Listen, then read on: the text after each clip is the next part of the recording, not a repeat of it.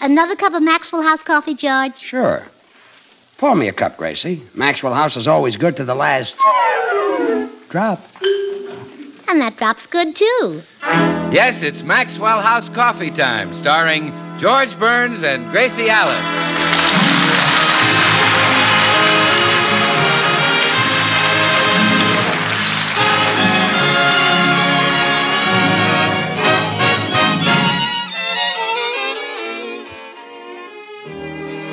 With yours truly, Bill Goodwin, that tough man of the screen, Dewey Robinson, and the music of Meredith Willson and his orchestra.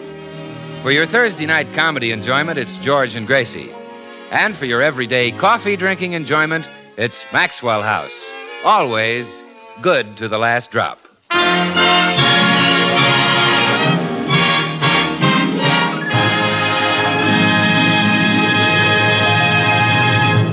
Morning in the Burns home, and as George comes down to breakfast, he is greeted by a very excited Gracie. Oh, George, did you hear the news? Hurry and get packed. We're leaving for Paris. What? We're going to the peace conference in Paris. I just heard it on the radio. Gracie, The newscaster said the fate of the world might depend upon the Paris meeting of Burns and Allen. I heard the radio in the bedroom. The man didn't say Burns and Allen. He said Byrnes and Stalin. Jimmy Byrnes and Joseph Stalin. Oh. That's what the man mean said. You and I aren't going over there and get all these international disputes straightened out? Of course not. Those disputes will be straightened out by diplomats. Oh, the hard way, huh? Yes, in the side pocket. Uh, George, look, would it be all right with you if I went to the Paris Peace Conference to report it for my newspaper column? Gracie, things are confused enough over there. You stay here. All right. But will you suggest some other subject for my column then? Well, let's see. What interesting news have I heard lately?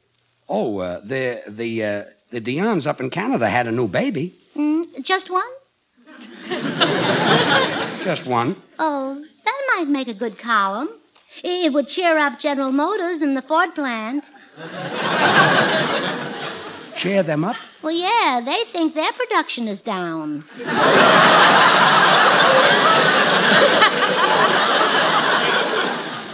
I'd forget that item. Let's look through the newspaper. Oh, don't bother, dear. I'll just do a simple column explaining atomic energy or something. Atomic energy. How would you explain atomic energy? Well, uh, uh, let's look through the newspaper. Yes, I thought so, yes. Uh, why don't you do a column about the crime wave? The crime wave? Yeah, the, the paper is full of it. Here's a story about a holdup in a used car lot. Oh, George, that's not news. That happens every time they sell one. Anyway, the country is flooded with pickpockets, safecrackers, and second story men. Well, you know, I might do a column on it at that. How to stop crime. Uh, you could stop it, huh? Well, certainly. You see, where the police make their mistake, the minute they catch a man robbing someone, they put him in jail. That's a mistake. Well, of course. That's a bad influence on him. You, you, you meet a very poor class of people in jail, you know. I imagine you do, yes. Mhm. What that man needs is a home, the companionship of good, honest people. I think every American family should adopt a burglar. Gracie, If we did, we'd all have less to worry about. we certainly would. Much less. I'm glad you agree. I'll go right Gracie, down to I the jail. don't agree. It's a silly idea. But, George, think what this can accomplish. No more robbed homes, no more cracked safes. And I'll be a heroine. Forget it. It'll be me against crime. Gracie Allen versus the crack safe. An even match if I ever heard one. I'm going to my office. Now forget this idea, and that's an order.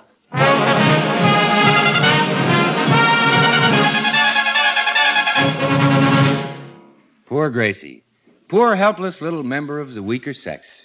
She's smack up against that inexorable law that has stood since the beginning of time man is the master and woman must obey. And Gracie's man has issued an order.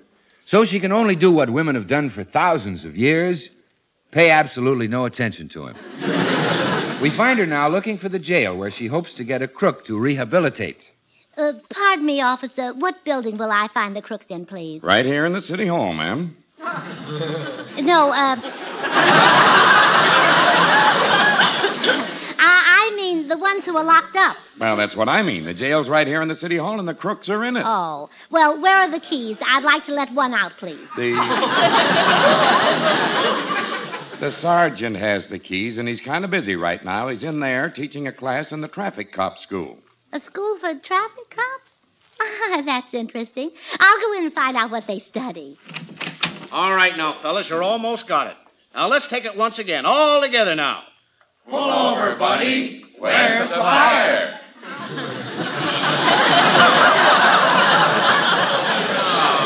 That's not nasty enough. Try to remember you're talking to a taxpayer. Now, once again, now, and put some feeling into it. Pull over, buddy. Where's the fire? Ah, that's more like it. Now, the driver will probably say, uh, What's the matter, officer? What did I do? Then what do you say? Oh, a wise guy, That's very good. Class dismissed. Now get out and get busy, and the last one to make a pinch is an old maid. Well, that was very interesting, Sergeant. Huh? Oh, excuse me, lady. I didn't see you. Uh, what can I do for you? Well, I'd like to rehabilitate one of your burglars, please. Come again. Well, thanks. I will if this one works out all right. Uh, what did you say you'd do to the burglar? Rehabilitate him, reform him. Take him out of this awful jail and give him a good home. Oh, I see. Uh, you want to post bond for one of these mugs. Do what? Put up the money for his release. Oh, oh, I, I didn't know they cost money. well, if they do, they do. Uh, have you got something in a nice burglar around 498? Are you kidding? I'll go to 595 if he's really in good condition. Now, look, lady, you can't spring any of these crooks for less than a hundred bucks. Well, that's outrageous. The OPA will hear of this. Lady. I've got a good notion to take my business to some other jail. Lady, the court sets the amount of the bond. Now, these. Hey, wait a minute. There is one you can have for free Big Louie. Why can I have him for free? We've got nothing on him. Well, I'm not taking him home in that condition.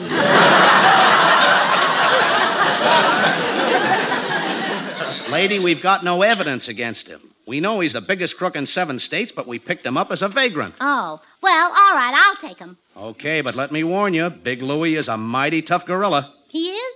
Well, maybe I better stop with a man then, huh? Eh, yes. hey, Louie, this dame wants to see you. Okay, I'm coming. I'll leave you two alone. These dames are crazy. Uh, you want to see me, lady? Well, yes, I want to get you out of here. You see, I'm interested in crime. Uh, me too. Say, let's work together. Oh, that's the spirit. Cooperation. I say all you need is a chance. That's all. Just one good chance. Now, um, my idea is to place you in a nice home. A home where you'll be surrounded by good books, good paintings, and music. Oh, now we're getting somewhere. Inside job, huh? Y- Well, uh, mostly inside, yes. Okay. Now, with valuable books and stuff, we'll need a fence. Oh, I've got a fence. A good one? No, the best there is. Oh, that must be Shady John. No, it's white picket. White picket. Must be a new one. Well, fairly new, yes. Now, here's the address, Louis. Have a shave and get all cleaned up, and I'll expect you around dinner time. Oh, will you be there? Oh, certainly. We're going to work together. Goodbye, Louis. See you for dinner. Uh, okay, babe. Uh, only just one thing. Let's keep this quiet. You see, I'm on the lam. Well, that's nothing to be ashamed of. We've been on it ever since the ceiling went back on beef. Goodbye, Louis.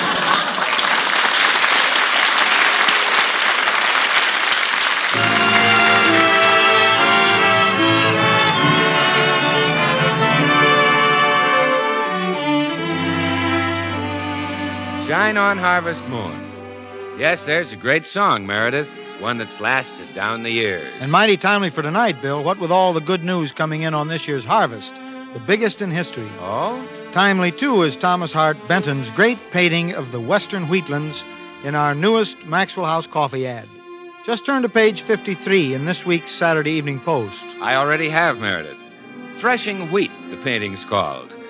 And when you see the golden wheatlands rippling in the breeze, bursting with the bounty of a whole summer's growing, well, it's easy to understand why those fertile, friendly fields are such a vital part of the American scene. And you know, in its own way, Maxwell House coffee is a very real part of the American scene, too. For just as coffee is this nation's favorite drink, so Maxwell House is America's favorite coffee, bought and enjoyed by more people than any other brand. Around the country, it's Maxwell House wherever you go. It's flavor, of course, that explains this nationwide preference. The rich, full bodied Maxwell House flavor that results from the masterful blending of these choice Latin American coffees. Manizales for mellowness.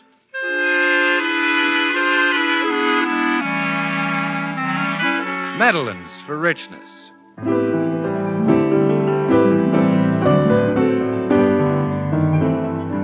Other fine coffees for vigor.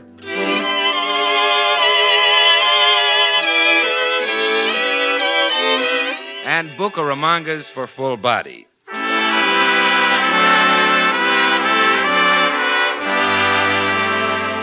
The sum of which is great coffee at its flavor peak. So, friends, why not enjoy the best in deep down coffee drinking pleasure? You can at only a fraction of a penny more per cup than you'd pay for the cheapest coffee sold. Just say Maxwell House Coffee. Always good to the last drop.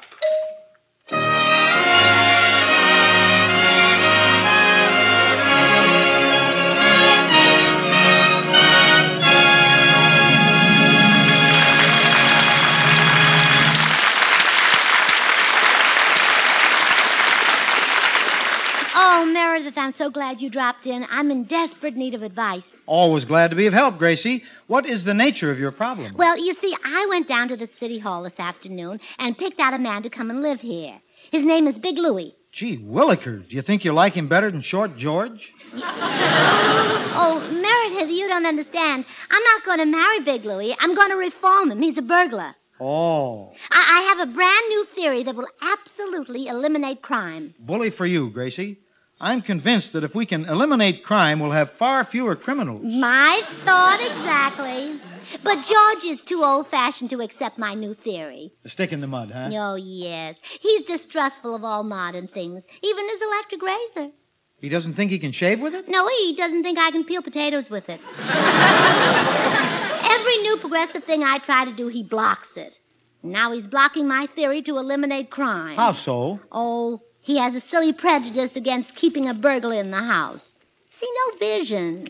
And vision is very important. You're right, Gracie. If it hadn't been for the vision of that great inventor, Fulton, we'd have had no steamboat. For sure. And if it hadn't been for the vision of that great architect Jackson, we'd have had no stone walls.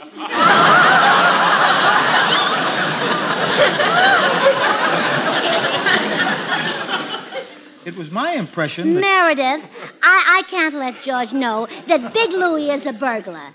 Will you think of some story I can tell him? Well, uh, why not tell him Big Louie's a plumber? Oh, well, he might be here a week. That'd give it away. Yeah, you're right. No plumber ever finished a job in that short a time. Oh, Meredith, you simply got to. Uh oh, it's too late. Here comes George up the walk. Who will I tell him Big Louie is? Now, have no fear, Gracie. I'm sure that my nimble brain will rise to the occasion. Hello, sweetheart. Hello, George. Hiya, Meredith. Hello, all. Hello, all. Well, uh, I'll just be running, Gracie. It was mighty nice of you to say that my new singer could come and stay at your house for a few days. New singer.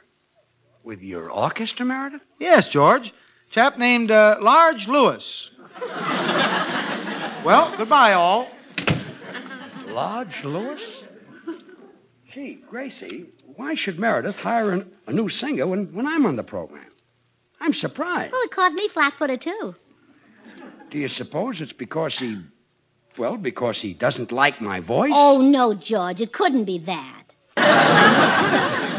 But I'm trying to find an explanation for it. Uh, don't rush me. So am I. Okay. Maybe he wants a taller man to help you out with the high notes. How do you like that explanation? It's ridiculous. Oh, you see, that's what happens when I'm in a hurry. Gracie. Oh, wait, here's another one. Maybe he wants him to stay here so he can pick up a few pointers from the greatest vocal talent of all time you. How does that sound? Pretty good. Hmm, I knew I'd get it. Meredith realizes how truly great you are. Well, ain't misbehaving all by myself. Vo, vo, vo, vo, ain't oh. misbehaving, honey. I'm happy. Why, No to compared to talk other to. singers, dear, No one to talk to you.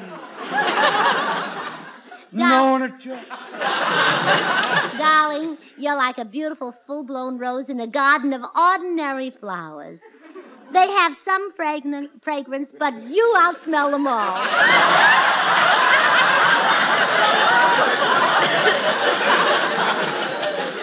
No to talk to. Oh. Thanks. Sing some more, George. Share the wealth that's stored up inside of you. Oh, Gracie. Oh, I- please, George. Open the slot machine of your mouth. and pay me off with a jackpot of melody. Okay. Ain't misbehaving, honey, all by Oh, myself. you top sugar throat. Oh, have I? Yes. I guess Meredith knew what he was doing. After all, I have sung all over the country in vaudeville. Uh-huh. Oh, that's the phone in the den. I'll get No, it. no, no, no, no, dear. I'll answer it. It may be Big Louie, uh, Lodge Lewis, the singer. Uh, I'll be right back, darling. Well, gee, I'll be glad when the kid gets there. I can teach him a few tricks. From time to time and every time, blessings come from above. The summer name, while others fame, I'll. Oh, gee. Down that door buzzer. Cut off my cadenza. Hello. Hello. I'm Big Louie. Oh, Big Lew- oh, Lodge Lewis. Well, come in, come in. Glad to meet you. Same here. George Burns is my name. You know, you and I are in the same racket. Oh, we are, huh? What towns did you work in, pal? Oh, I've worked in practically all of them. But I suppose Akron, Ohio is where they remember me best. They'd still like to get me back there. That's a coincidence. I'm wanted there, too. Well, another good spot for me was Milwaukee. They held me there for 12 weeks. Yeah? That was a tough break. Oh, I enjoyed it. What's the longest you were ever held in one town? Well, I uh, I did three years in Atlanta. Hey, you solid. That's solid I don't like to be in. They threw the book at me in Atlanta. Never had that happen. But I stopped a few tomatoes in Kansas City. Still, I can't complain. That's where I got my big break. A big New York booker came to see me, and I murdered him. Knocked off a bookie, huh? I really killed him. Gee, imagine a little guy like you killing people. I don't get it. Well, uh, I'll show you how I did it. From time to time, and every clime, blessings come from above. Now I get it. Huh? That technique would kill anybody. Thanks. Do you work solo, or do you, or are you teamed up with somebody? Solo? I teamed up with a guy once, but he turned out to be a squealer. Yeah, I hate those tenors too. You sing baritone, don't you? Who's talking about singing? We are. Aren't you a singer? No, I'm a burglar. Your wife came to the jail and sprung me this afternoon. So that's it. Gracie, come in here. Yes, dear. Did you? Oh. I want to talk to you, Gracie. Uh, but she just left to visit some friends in Ireland. Come back here. So you went ahead with your crazy crime idea anyhow? Well, huh? yes, dear. He's an awfully nice burglar, and I'm sure we can help him. Help him fooey. I'll bounce him out of here on his ear. You're gonna do what? Uh, I'm going to help you. That's more like it.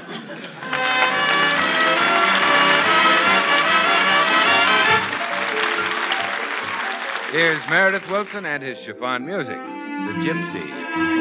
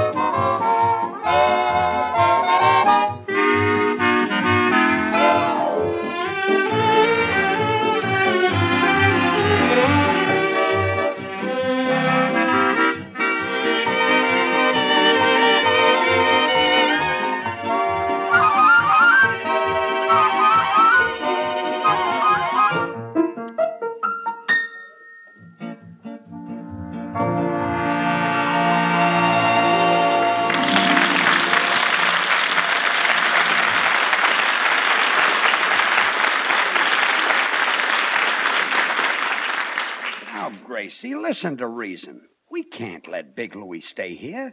He'll steal us out of house and home. Oh. Judge, will you calm down? I'm going to rehabilitate the man, expose him to culture. But already the big ape has taken my ties, my cufflinks, my stick pin, my belts, and my shirts. Even swiped my shoelaces. Well, darling, isn't that a small sacrifice to make for progress? This is an experiment that may benefit all mankind. Think of yourself as a pasteur. Well, I don't mind being a pastor, but tell Louis to stop grazing on me. Well, wait till the culture starts to work. I'll introduce him to Bach and Brahms and Shakespeare. Gracie, he'll never be an honest man. Oh, how easily you pessimists give up. They said there'd never be electric refrigerators. They said there'd never be vacuum cleaners. They said there'd never be electric washing machines. But today, oh, come to think of it, that's a pretty poor argument, isn't it? Certainly is. Well, anyway, try to remember this is 1946. Don't be so backward. I still. Come in.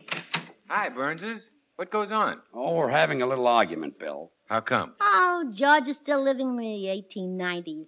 Well, you can't blame him, Gracie. Those were the best years of his life.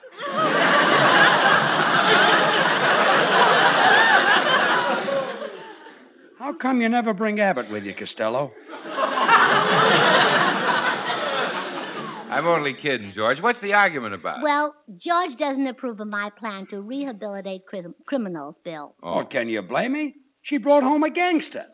Well, you're the man of the house. Throw him out. Take off your coat and bounce him.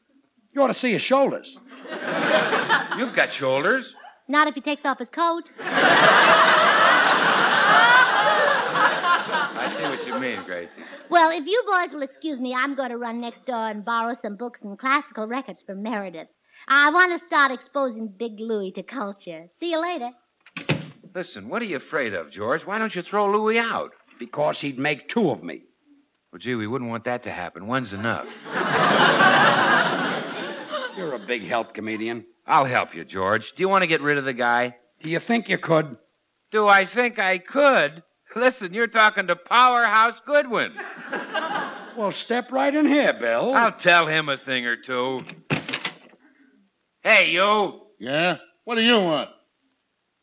Uh, I just want to tell you that Maxwell House is the very best in coffee drinking pleasure. Yet it costs but a fraction of a penny more per cup than the cheapest coffee sold. That's a value too good to miss. Bill, I thought you were going to tell him a thing or two. Well, that's one thing. This makes two.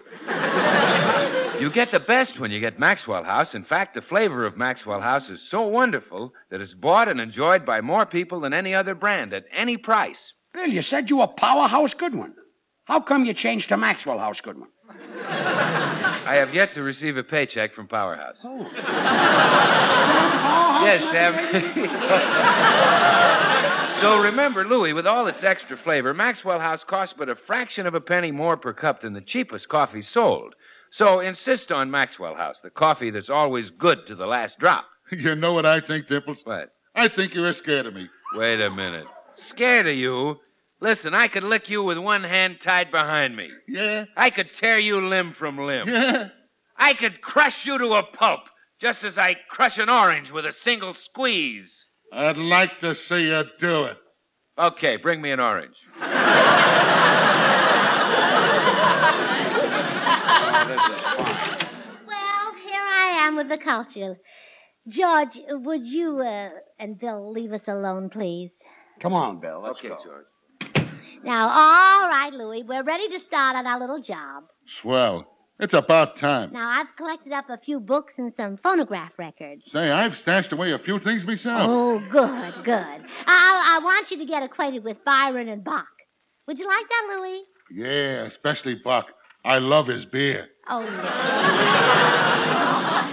Bach is a great composer. Please don't let anyone hear you say he makes beer. No? No, I'm sure he doesn't want it known. now, um, in addition to Byron and Bach, I'll introduce you to Shakespeare and Tennyson, and Franz Schubert, and Charles Dickens. Don't you think we're cutting in too many guys on this? Oh, no, no. The more the better.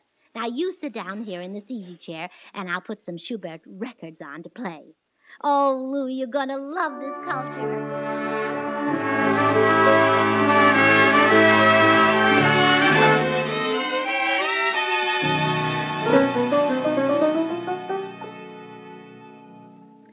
Well, George, I did it. Big Louie is now being exposed to culture.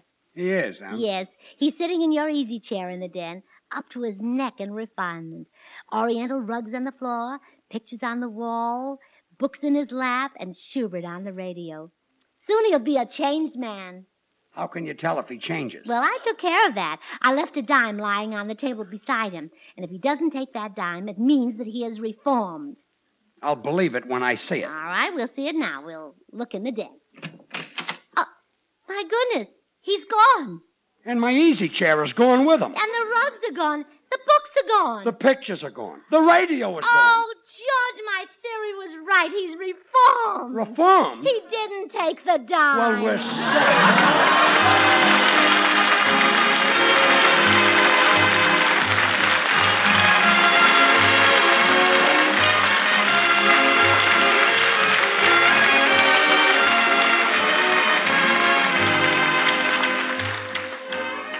Until next Thursday, good night and good luck from the makers of Maxwell House, America's number one brand of coffee. Always good to the last drop. Well, Gracie, I hope this taught you that you can't reform a crook with culture. It certainly did, George. I'll use psychology on the next one I bring home. I- I'll just let him steal all he wants. Let him steal all he wants? Sure, he'll get sick of it. Gracie. That's a trick I learned when I was a tiny little girl. My mother bought a tremendous box of candy and said, Here, Gracie, eat all you want and you'll get sick of it. And someday I will. Good night.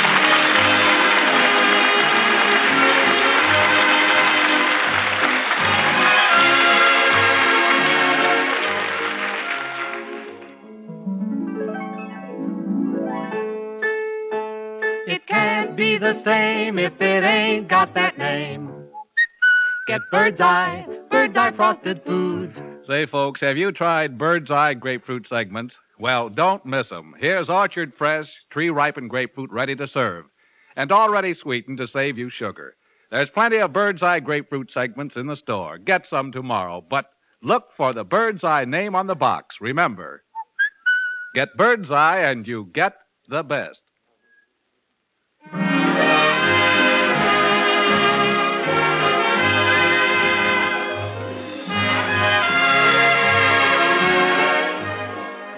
Join us again next week when we'll all be back. George Burns, Gracie Allen, Meredith Willson and his orchestra, and yours truly, Bill Goodwin. The George Burns and Gracie Allen show is written by Paul Henning and Keith Fowler. And now, stay tuned in for Noah Webster Says, which follows immediately over most of these stations. Good night, everyone.